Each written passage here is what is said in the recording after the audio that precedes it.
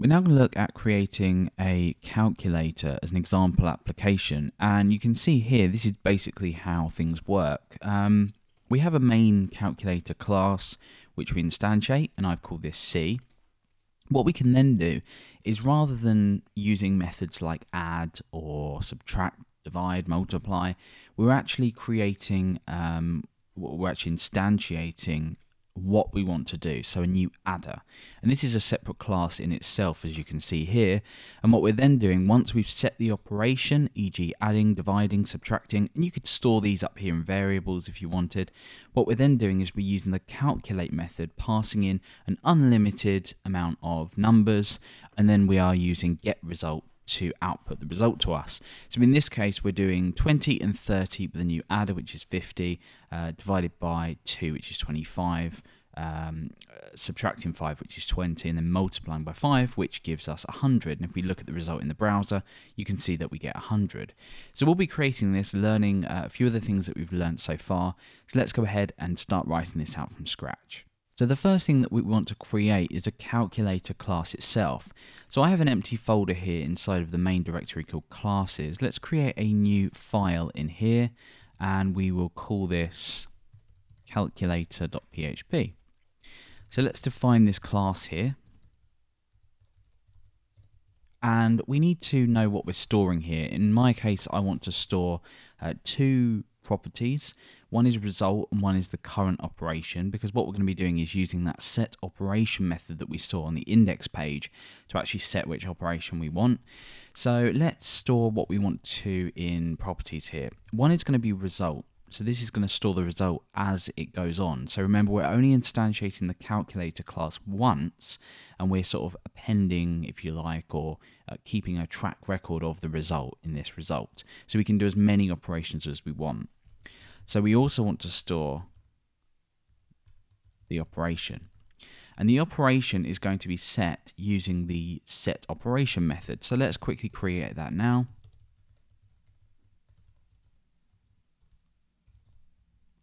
Now this one's a little bit more tricky because uh, we want to pass in an operation here. And we also want to obviously set this operation. Now this operation is going to be an object an instantiated object, a new adder, a new subtractor, a new divider, or a new multi multiplier. So we can set this within here.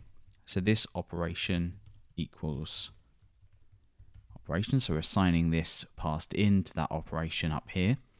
But we need to type hint this. Now, we can't really type hint it because remember on index when uh, a moment ago we saw that we can pass in a new adder, a you multiply, etc. So we can't say multiplier because that then would mean that we'd have to have multiple classes to type in each one. What we're going to do is we're going to code this to an interface and we're going to call this operator interface um, because each of the operators needs to implement one method and that's run and that gives in a number and then it gives in the current result so it can do something with it. So let's not try and make this too complicated, but we'll, we want to do this in the best way as possible and the easiest way that we can extend this. So let's start to create perhaps an adder. Simple enough. So I'm going to call this adder. So the purpose of this class is just to add numbers. We're separating the purpose of each class here. So I'm going to call this adder.php. Obviously the calculator, you know, does have a purpose to add and subtract, but it doesn't it's not necessarily its sole purpose. So we, we pass this off to our adder. Now inside of the adder, we're going to have a function called run, and this is the only other method called run. This is the only method that we're going to have. And this is going to take a number and the current result, so we can return the result plus the number. So let's say we started at zero, which makes sense. Uh, when we instantiate the calculator and we add a number, we're adding to zero we're, we're adding on to the number 0. So the current result would be 0, which is this here. So before we go any further inside of the index uh, page, let's just start to require in everything that we need. So let's require in classes calculator.php and let's also require in adder. And what we'll do is we'll go ahead and create a new class and we'll do maybe a subtractor, just so we can then start to write out this interface. So subtractor.php, oh, and this is going to be a class called subtractor. Cool, so we obviously want our run method in here, and that's going to take in, remember, a number that we're subtracting and a result. So this time what we're going to get is we'll get to return result, this time minus the number. So for example, we use the adder to add 10, maybe. That will give us 0 add 10, which is 10. And then we'll maybe subtract 5. 10 minus 5 will be 5. So let's start to put this all together, as I said. We'll go ahead and require in the subtractor and now we'll look at the interface. The interface is important, as I mentioned, because what we want to do here is type hint this. And we can type hint to an interface. So let's create a new class in here. And we will call this operator interface. So let's say interface operator interface. And this needs to, um, any class that uses this interface needs to implement a run method. And that run method needs to have a number and a result, as we've seen inside of the adder and the subtractor. So let's now implement this operator interface, and we'll do the same for the subtractor so that implements the operator interface. And we'll do this for the multiplication and the division as well. So we've now got this. Uh, let's just check that everything's working. We'll instantiate, uh, well, the first thing to probably do is require in the interface. So classes operator interface. So let's create or instantiate a new calculator. We don't need any uh, brackets there because we're not passing anything into it and we will say maybe set operation. So let's say C set operation. I think it's operation. Yeah. And we will create a new adder in there. So let's just check that this works first of all. Okay, looks like everything's working. So if we inside of here just do a var dump on the operator that's passed in, or the operation that's passed in, we should see an instance of adder. Perfect. So in this case then, we now want to type hint to operator interface. Because each of these extend uh, or implement the operator interface, we can say operator interface there.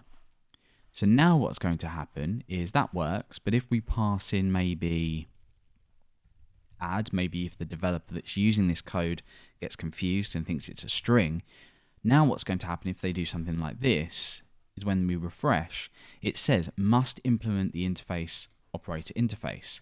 And then a quick look through the documents or the code, you'll see, ah, okay, I need to implement, um, I need to use this uh, as a uh, as an adder or subtractor. So let's say new adder here. So let's try and actually um, add something to nothing, which is, in this case, is going to be fairly straightforward. So what we want to do is we want to say calculate. I mean, this can be called anything you want. Calculate is probably not the best uh, method name, but I'm going to say I want to calculate 10 and 50. So I want to add 10 and then I want to add 50. So how are we going to deal with this? Do we have to say something like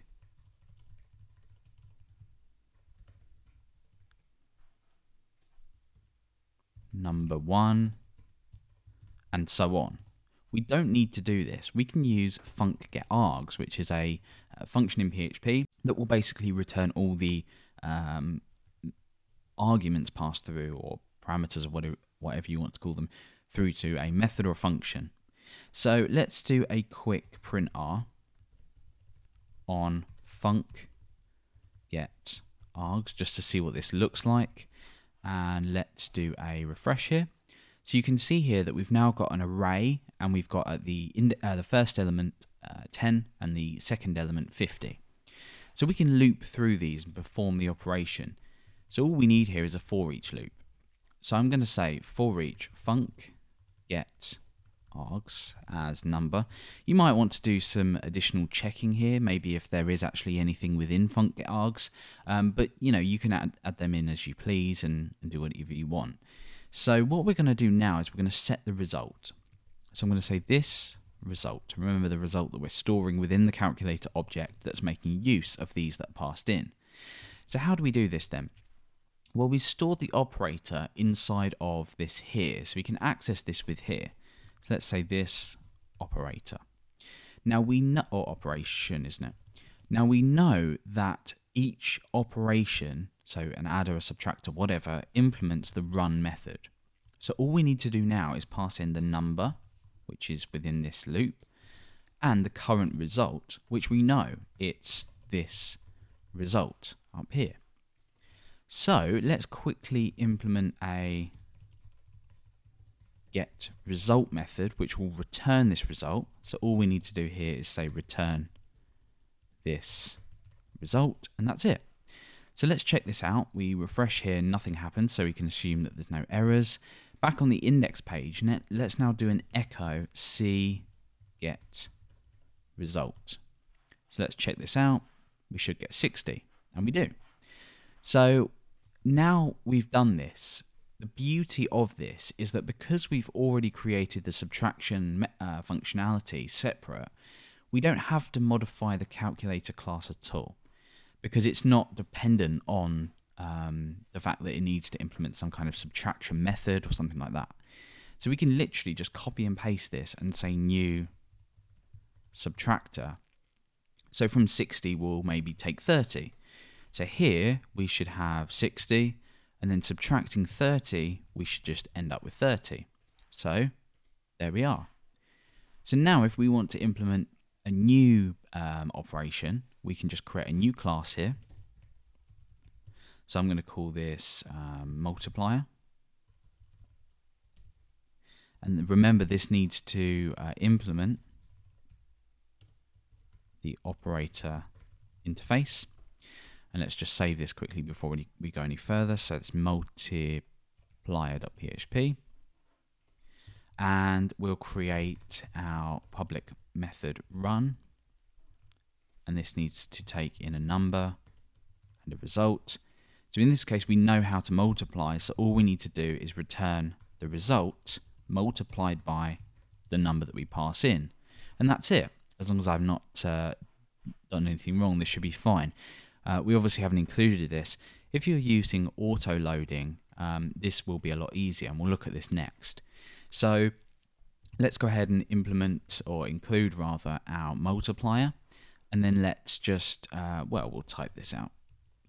So set operation, new multiplier. So remember this is dependency injection. We're not instantiating this within the calculator itself. We're just injecting it in as a dependency. So we now we can say C calculate. Now let's maybe times this by 5. And there we go, we get 150. So let's lastly look at creating our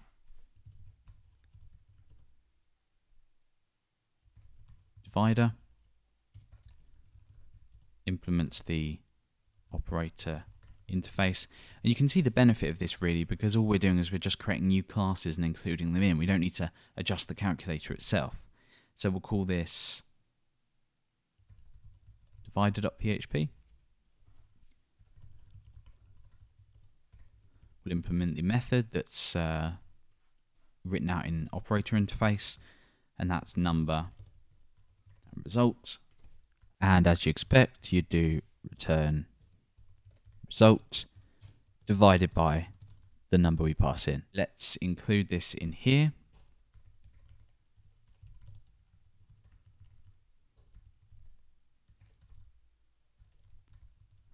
And let's do something here. So maybe we could divide this by 2. Oops. There we go. So we get 75. Perfect. So we know that that's correct. And that's it, really. We've created uh, a few classes that all do their own thing. They're all responsible for one thing. We've created a calculator to handle this, passing in the operation as a dependency injection, calculating this using whatever arguments are passed through. So we could um, subtract 30 and then we could subtract 50, and that will give us an entirely different result altogether. And that's it really. And we've um, obviously implemented a get result method to grab the result from the calculator. And all of these different dependencies are written to an operator interface.